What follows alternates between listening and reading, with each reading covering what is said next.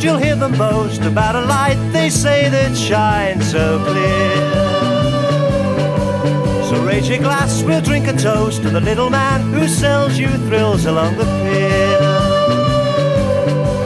He'll take you up, he'll bring you down, he'll plant your feet back firmly on the ground. He flies so high, he swoops so low, he knows exactly which way he's gonna go.